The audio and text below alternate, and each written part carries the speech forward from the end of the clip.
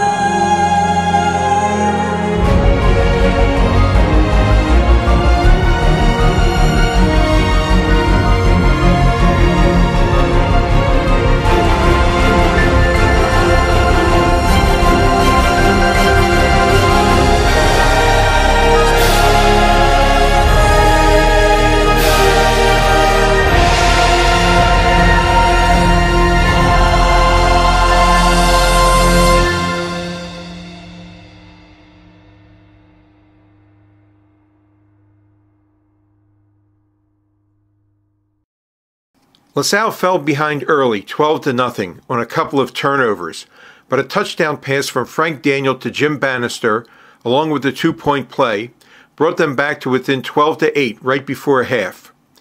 The renowned LaSalle defense took over in the second half, and touchdowns by Jim Maxwell and Frank Daniel provided the margin of victory.